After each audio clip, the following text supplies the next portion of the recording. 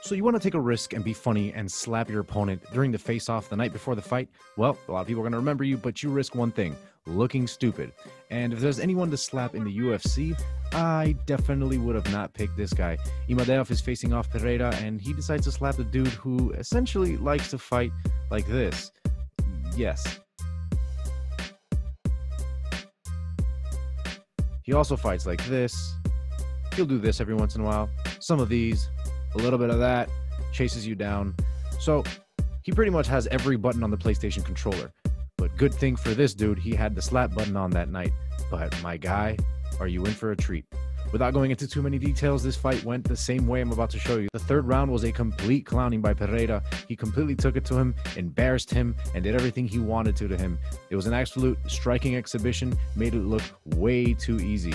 What I found really funny was that revenge is a biatch. And you'll see here why as Pereira in the closing minutes of the third round starts clowning him like he's been the whole fight. Except this time, he's dancing. And right here, another whack just to have that right back at you. Let's see that one more time.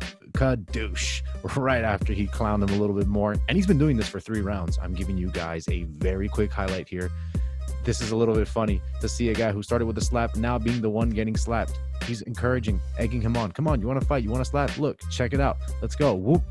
You got nothing. Look, you ready? You want the slap hands? Here you go. Here's my right hand. He tells him what hand he's going to slap him with. And then he slaps him with it. And then he says, There you go. You want more? Come on. This is as funny as it gets, as entertaining as it gets. Hands down, total disdain for him. A little leg kick here, no big deal. But this is how the fight ends. He's encouraging more of the engage, clowning him. Hands down, the Bruce Lee stance. Whoa, a little bit of fun here for the fans that are not in attendance because of damn COVID and then a body slam right here to take this dude down, secure the fight.